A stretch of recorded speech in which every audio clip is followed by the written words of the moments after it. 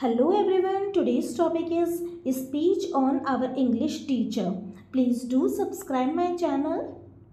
Good morning everyone. Today I am presenting a speech on our English teacher.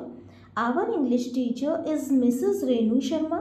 She is very talented, punctual, kind and very polite. She is a charming lady with amazing knowledge. She is known for her personality and honesty in the school. She teaches us in a simple and easy way.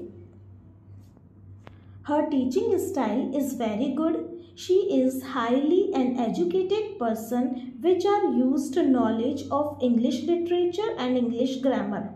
She teaches us every lesson in interesting way she encourages all of us to speak in English.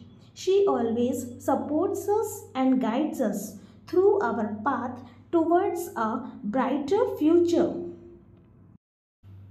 She is an entertaining person who kept the class full of joy. She never bores us and all students have distinction in the English examination. I never miss any of my English classes. Everybody in my class is fond of her. She also teaches us the importance of moral values in our life. Everyone respects her very much. She is very friendly. She is the best teacher in our school. I like my English teacher very much.